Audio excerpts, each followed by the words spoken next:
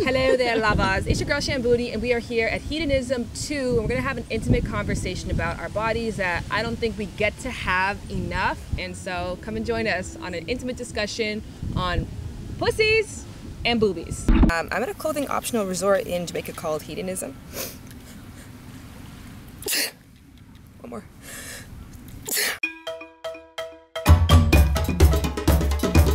Bing, this is the prude side. Over there is the nude side. I can't show you, but you can feel it.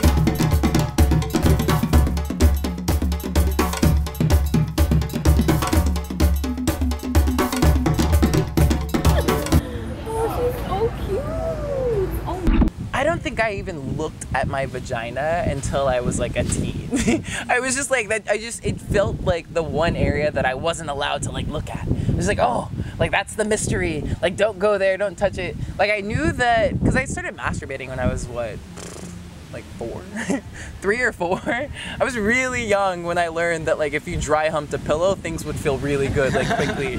so um, I knew that it was like a place that gave me pleasure, and I also knew very early like I associated with it being bad.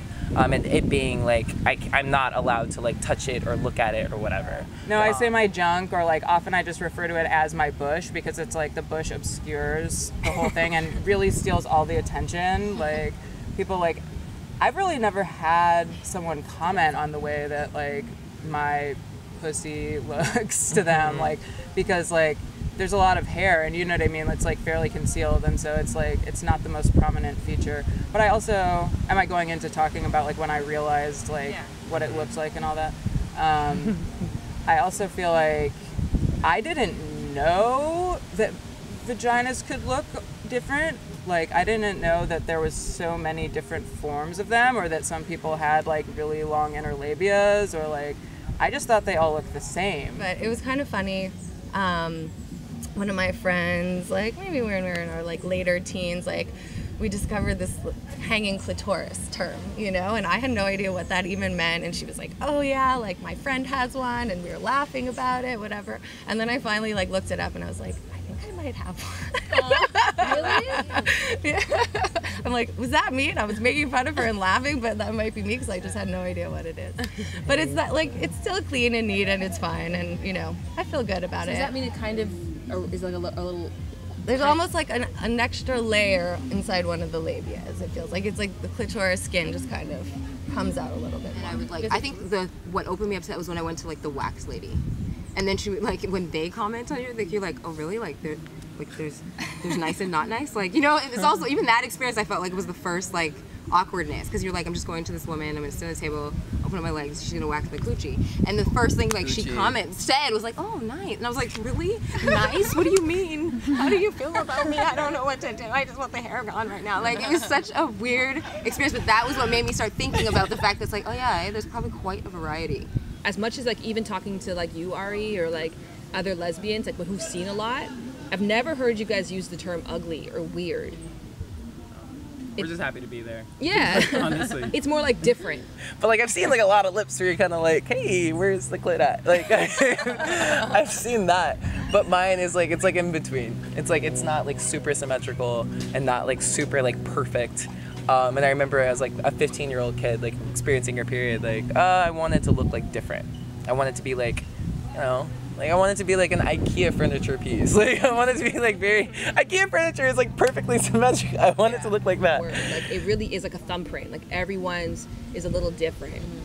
I will say where my insecurity comes in is definitely like I ask about smell a lot because like I got bacteria vaginosis like in my early 20s and that just started like an onslaught of constant like yeast infection, UTIs, bacteria vaginosis and like I worked at a desk job and I was like obsessed with like my smell. Like I could smell it sometimes through my pants or like it was just like a big concern for me all the time. And I'm like, that made me really insecure with like new people or even being like in groups of spaces like can someone smell it can someone this and like i remember one time this guy told me that he was like in the bleachers and he was sitting between a girl's legs and he could smell it mm-hmm. and like i was so insecure that that could be me Actually, you know, now that you now that you mention it, my best friend in high school and I also spent a lot of like naked time together and had like a sort of erotic relationship. I do remember her vagina and I remember that that was maybe actually the first time when I was sort of like, huh, that looks really different than mine and her smell was so distinctive. Like I can still remember it to this day and like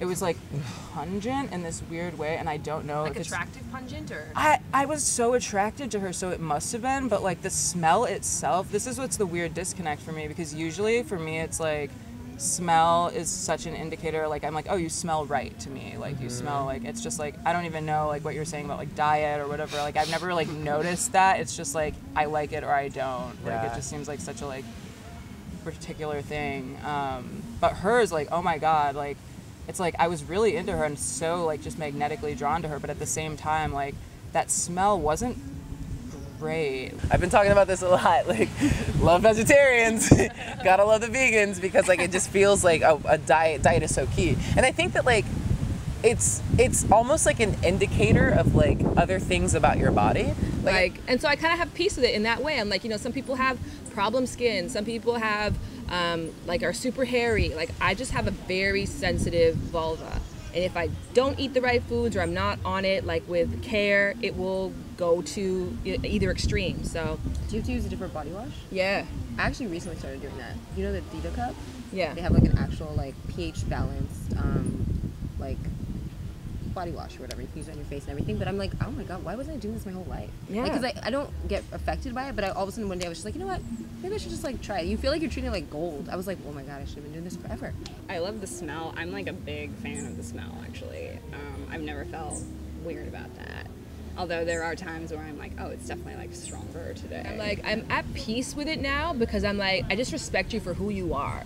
Like you're just like a finicky ass motherfucker. Like You're high that's who you maintenance. are. It's okay. You're You have high, a high maintenance. maintenance coochie. I have a high maintenance coochie. Um, and I'm like, but it's cool because like again, like the sensation you get from it. I love the way that it looks. Like when I feel on top of the smell situation, I even value and appreciate that a lot.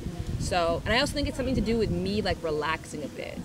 You know, like giving myself permission to not always be perfect or not always be, you know, commercially um, appealing. So it's it's a balance of both. Like, yeah, you're gonna have to find out how to manage it, but also learn how to manage insecurities. And an acceptance of, of what's real too, right? Like whether it's hair or all these things, it's like, but it's okay. Like it's not something that you have to feel ashamed. Hair is still a thing I'm like going through. Yeah. Like I like respect. You're on a journey right now, though. You're Yeah, on I'm a journey. Yeah, like yeah. I kind of like respect Kelsey and like what she has going on mm-hmm. because is like a main attraction. It is. and like you're cool with that and so that's a beautiful thing in itself because i'm still like is that okay you know is it okay to be hairy like is that because i for so long and in my previous relationship like he was always complaining like you're spiky you're this and like i felt like oh like i'm half indian it's very hard for me to keep on top of the hair, Hair. situation yeah. um, but again, that, I also kind of think it's something with me too. Like you get to call the shots for your body. If you let other people tell you what's sexy or acceptable, and that becomes like what your routine is, then that's something that you have to break free of because people are going to have an opinion regardless. And if you're going to go around trying to like fashion your body to fit someone else's needs, you're going to find yourself always feeling unhappy and not enough. I'm good with it most of the time. I really don't have to struggle. Like I feel happy with it. Uh, it brings me lots of joy, and I'm thankful for that. So, Yeah. uh, you know, I have no, I have no complaints. It does, does wonderful things. Shout out to your pussy. Thank you guys for watching this video. In the comment section below, let me know what has your journey been with your own or with somebody else's vulva, vagina, pussy, whatever your preference is when it comes to both appearance and the smell of it. In addition, please go and subscribe to my new vlog channel and of course, subscribe to this one. And while you're pressing buttons, like this video. Love you guys. Bye.